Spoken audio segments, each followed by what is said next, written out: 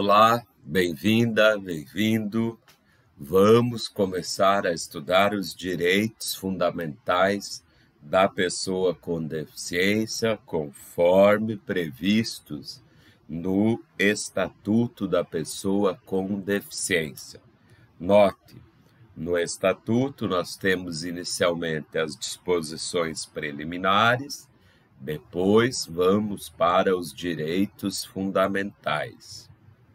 Primeiro direito fundamental, direito à vida, que está nos artigos 10 ao artigo 13, matéria frequentemente cobrada em concurso, merece sua atenção, merece memorização integral dos dispositivos.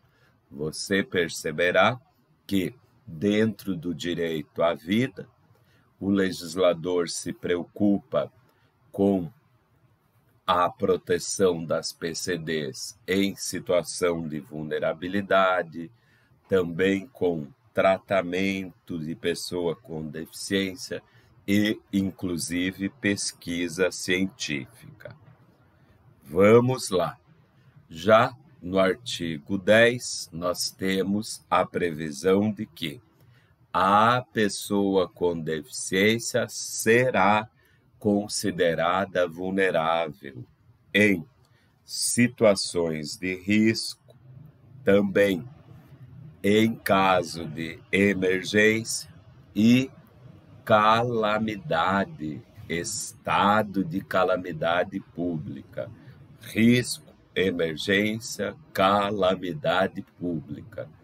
Nessas situações, o poder público, é claro, deve adotar medidas para proteção, para a segurança das pessoas com deficiência.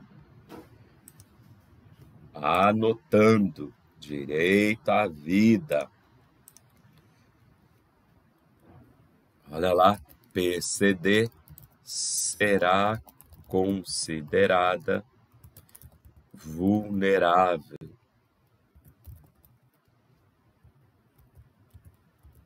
Será considerada vulnerável em situações de risco, emergência e estado de calamidade pública,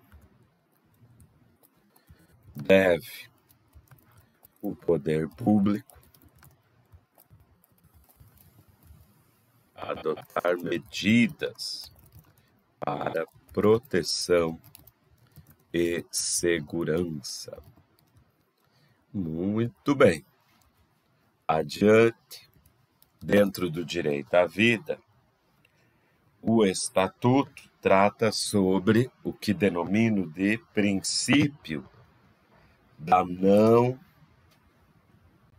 submissão. Como assim não submissão?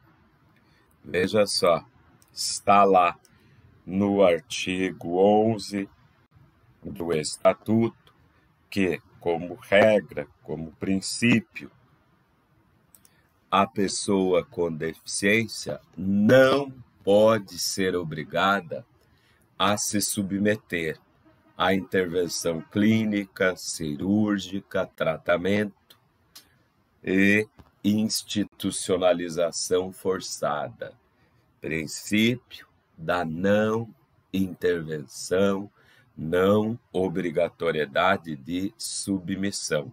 Agora, importante nesse ponto, nós já conversamos no outro momento que pessoa com deficiência pode, em caráter excepcional, ser curatelada. Pergunto: consentimento de pessoa com deficiência curatelada pode ser suprido. E aqui estamos falando de intervenção clínica, cirúrgica, tratamento. Pode, está no estatuto que sim, é possível suprimento do consentimento de PCD curatelada. Olha lá, princípio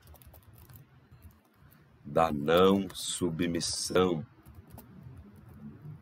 Veja só, pessoa com deficiência, como regra, não poderá ser obrigada a se submeter à intervenção.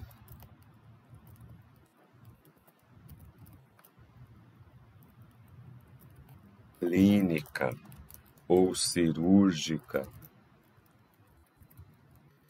tratamento ou institucionalização forçada. Agora, IPCD curatelada, tá aí o consentimento de PCD curatelada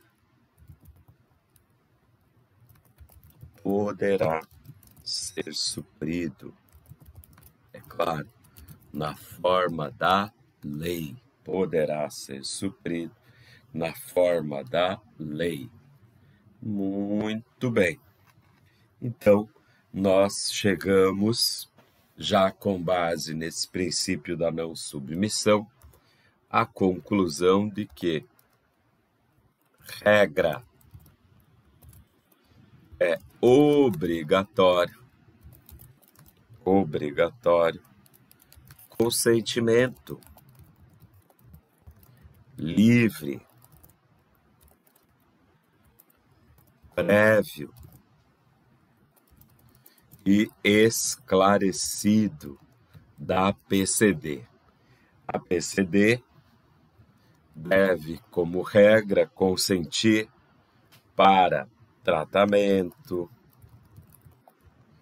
qualquer procedimento, hospitalização e pesquisa. Essa é a regra. Exigência de consentimento livre, prévio e esclarecido. Pergunta: tem exceções? Exceções em que é possível realização de procedimento, tratamento sem consentimento? Claro que tem exceção, exceções. Em risco de morte, e emergência em matéria, né? emergência, opa, emergência em saúde. Nessas situações, excepcionando a regra, não é obrigatório o consentimento livre, prévio e esclarecido da pessoa com deficiência. Opa, não estou aparecendo. Ainda que, olha lá, nós acabamos de anotar que o consentimento de pessoa com deficiência curatelada pode ser suprido. Pois bem, cuidado com um detalhe. O estatuto assegura que em se tratando de PCD curatelada, deve-se buscar, permitir, garantir o máximo de participação possível no consentimento. Mesmo curatelado, deve-se buscar o máximo possível a sua participação na decisão, na formação do consentimento também merece uma anotação.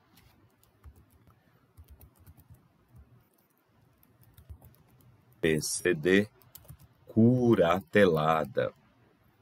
Em se tratando de curatelada, o que, que é necessário? Deve-se assegurar sua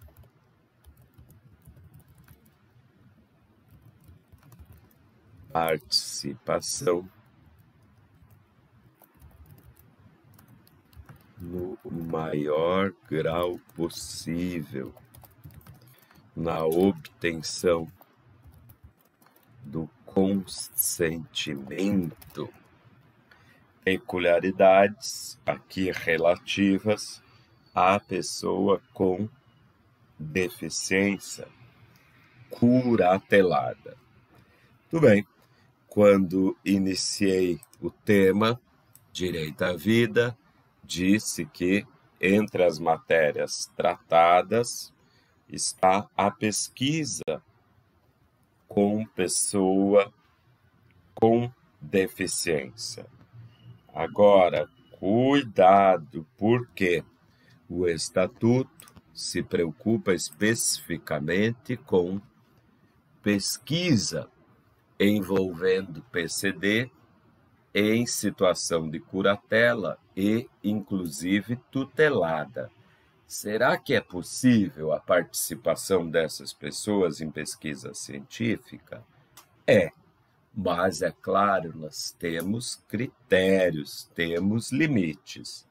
É possível em caráter excepcional. Tem mais.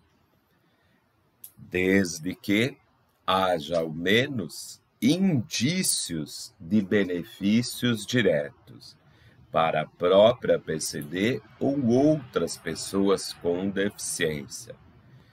Tem mais, outro requisito, que a realização dessa pesquisa não seja possível em pessoas não tuteladas, curateladas, com eficácia provável.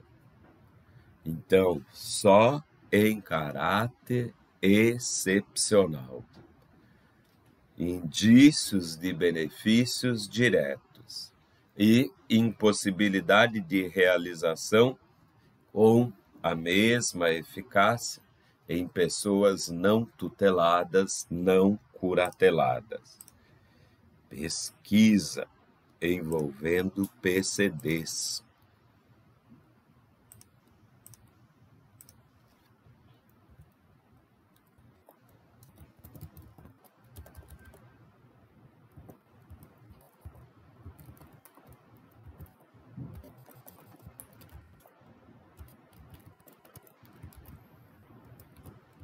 PCDs tuteladas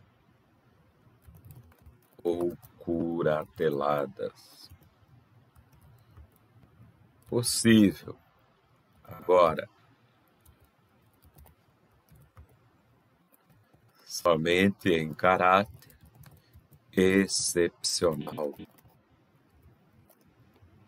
que, que se exige? Indícios de benefício direto. Que mais? Desde que não seja possível realizar com eficácia comparável em pessoas não tuteladas ou curateladas. Mas vale a regra, que é a possibilidade, observados esses requisitos. Muito bem. Vamos resolver questões sobre o direito à vida. Temos, prof? Temos. Aí na sua tela. Determinado município decretou estado de calamidade pública em razão de desastres ocasionados por fortes chuvas na região Clara é PCD e vive no citado município há 20 anos. Conforme a Lei 13.146, conforme o Estatuto, Clara não será considerada vulnerável. Errado. Será considerada vulnerável em razão de calamidade, devendo o poder público adotar medidas para sua proteção e segurança. Certo. C. Onde é que está o erro? Está aqui no apenas. D não será vulnerável, errada. Será considerada vulnerável, independentemente do estado de calamidade. Errado. Então, C será cons. Opa, C não, C é onde está o apenas. Correto é a B. Será considerada vulnerável em razão do estado de calamidade, devendo o poder público adotar medidas para sua proteção e segurança. Outra, lá, segundo a Lei 13.146, a pessoa com deficiência em situação de curatela, que necessitar se submeter à cirurgia. Vê. A é considerada vulnerável e será submetida à cirurgia, sendo inexigível o seu consentimento ou do seu curador. Errado. Poderá submeter-se à cirurgia com seu consentimento suprido na forma da lei, certo? O consentimento pode ser suprido na forma da lei. Daí, a afirmativa B.